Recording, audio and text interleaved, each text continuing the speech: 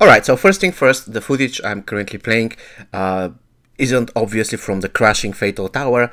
Uh, however, I was so pissed, I was so furious that I didn't even record it because it would have been really, really sad, really, really uh, let's say angry type of video and I don't want to really focus on the negative anyways I need to um, make sure guys that you're aware Battle 196 is uh, horrible not only because it's difficult it is really difficult you have to come with a strategy if you have decent tower equipment but no strategy just come up with three of your best characters and try to beat it, uh, probably going to lose. It's difficult battle. Uh, on top of that, uh, 196 crashes if you kill Tremor first, so be aware of that. Always try to kill Tremor last. Unfortunately, um, this is one of the many issues with uh, this particular tower, that's why I call it the crashing tower. The good news is that probably Battle 200 doesn't crash. Anyways, the moment I do Battle 200, I am seriously considering stop playing this tower uh, on my both accounts until they release a fix. I've seen in Twitter their support team is uh, replying random people stating that they have made aware the developer team and the developer team is working on a fix and they know that the game is bugged. However, as of today, they haven't acknowledged that officially, at least I haven't seen it. So, as of today, they haven't acknowledged that their game is totally bugged, that it's unplayable and it's anti-fun.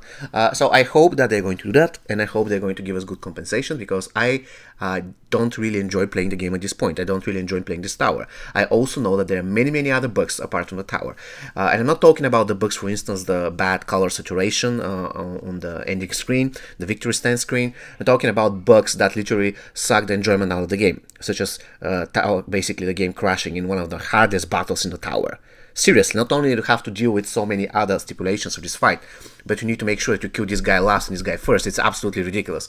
But anyways, um, I will try to make this video uh, as much positive as it is, even though there isn't anything positive out of it.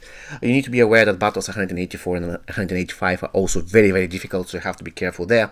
And for battle 196, once again, uh, make sure that you kill Tremor last. This is going to be my, the best advice I can give you. Kill the other guys and then kill Tremor last. Alright guys, I'm calling it a day for today, even though I had plans to upload a Fatal Battle 200. Unfortunately, uh, I had some uh, issues with Battle uh, 196. It crashed three times on me.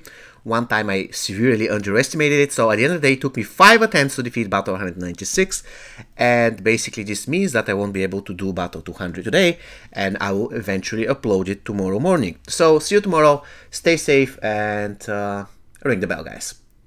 Take care.